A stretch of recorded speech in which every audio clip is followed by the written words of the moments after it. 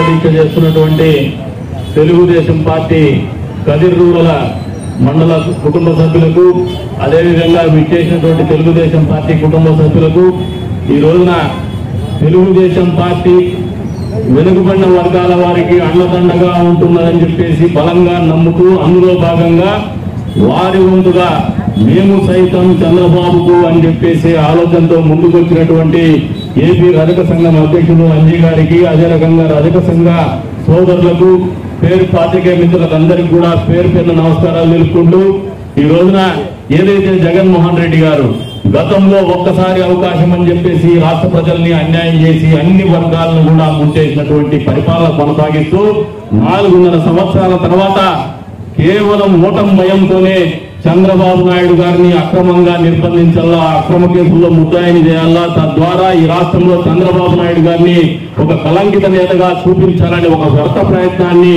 విరమించుకోవాలని చెప్పి సందర్భంగా డిమాండ్ చేస్తున్నాం తెలుగుదేశం పార్టీ.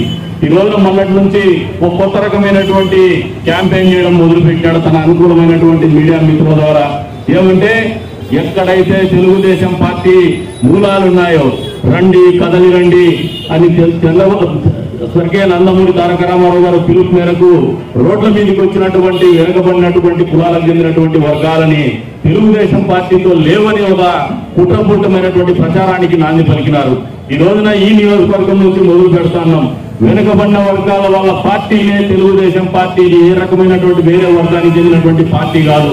ఈ రాష్ట్రంలోనే కాదు ఈ భారతదేశ చరిత్రలోనే రాజకీయంగా పెను మార్పులు సృష్టించినటువంటి రాజకీయంగా వెనుకబడిన వర్గాల వారికి అవకాశం గాని అధికారం గాని అప్పచెప్పినటువంటి పార్టీ ఏదైనా ఉందంటే అది తెలుగుదేశం పార్టీ నందమూరి తారక రామారావు గారితో మొదలైందని చెప్పి సందర్భంగా గంటాపదంగా చెప్తా ఉన్నాం గర్వంగా చెప్తా ఉన్నాం.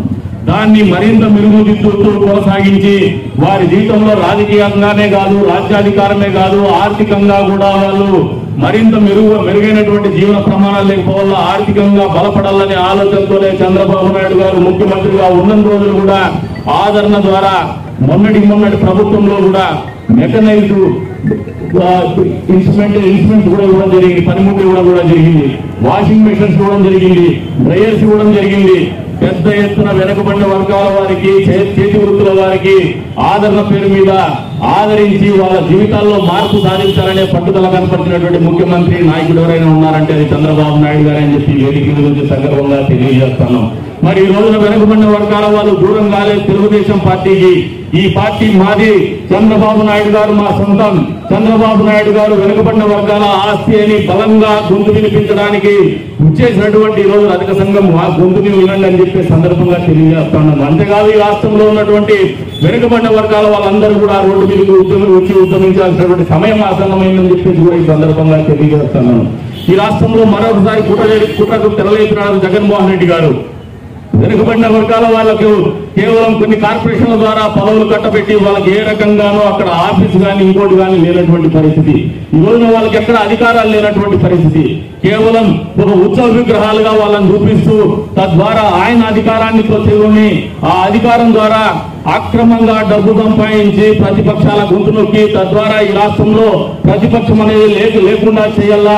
అధికారం అనేది అక్రమ మార్గాల ద్వారా సంపాదించుకోవాలా? అక్రమంగా డబ్బు సంపాదించాలని ఒక మధ్య మార్గంగా రాజకీయాన్ని వ్యాపారంగా చేసుకున్నటువంటి ఒక నీచుడు ఒక ముఖ్యమంత్రిగా తయారైతే ఏ విధంగా ఉంటుందో ఈ రోజు మనం ఆంధ్ర రాష్ట్రంలో చవి చూస్తున్నాం రాష్ట్ర ప్రజలంతా.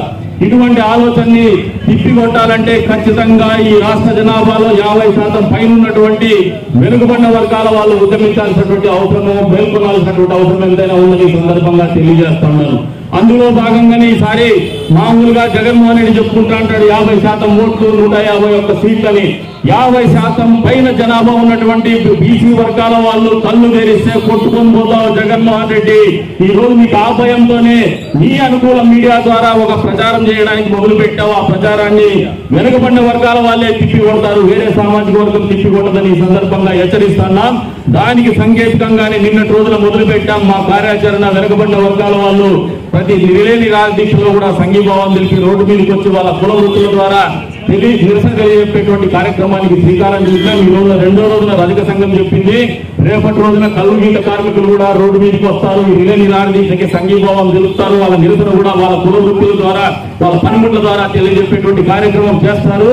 ఈ రిలే నిరాదీక్ష శిబిరం ఉన్నన్ని రోజులు కూడా ప్రతిరోజు వెనుకబడిన కులాలను చెందినటువంటి ఒక వర్గం.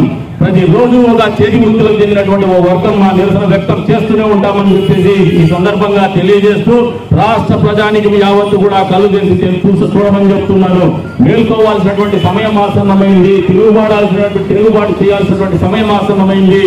ఎవరైతే మాదేవ వర్గాన్ని ఈ రాష్ట్ర ప్రజల్ని రాష్ట్ర అభివృద్ధిని కాంక్షించేటువంటి నాయకుల్ని అణిచివేత గురి చేయాలా అక్రమంగా నిర్బంధించాలనే ఆలోచనతో రాజకీయాధికారం కొనసాగాలనే ఆలోచనతో ఉన్నటువంటి వ్యక్తుల్ని ప్రజాస్వామ్య వ్యవస్థలో ఓటు ద్వారా పాతాళానికి తొక్కేయాలని చెప్పేసి కూడా వారికి సందర్భంగా పిలుపునిస్తూ మరొకసారి ఈ రోజున సంఘీభావం తెలపడానికి వచ్చినటువంటి మా రజక సోదరులకి మనస్ఫూర్తిగా పాదాభివందనం చేస్తున్నాం. తెలుగుదేశం పార్టీ కదిరి నియోజకవర్గం తరఫున భవిష్యత్తులో కూడా వెనుకబడిన వర్గాల వాళ్ళందరూ కూడా ఐక్యతగా పోరాడతాం. తద్వారా ఈ రాష్ట్రంలో ఏదైతే తెలుగుదేశం పార్టీ మీద చంద్రబాబు నాయుడు గారి మీద చేసినటువంటి కుట్రను తిప్పి కొడతాము ఆయనకు సంఘీభావంగా మా వంతుగా మేము సైతం అని ప్రతిరోజు కూడా మా వంతు బాధ్యతగా నినదిస్తాం ఉద్యమిస్తాం.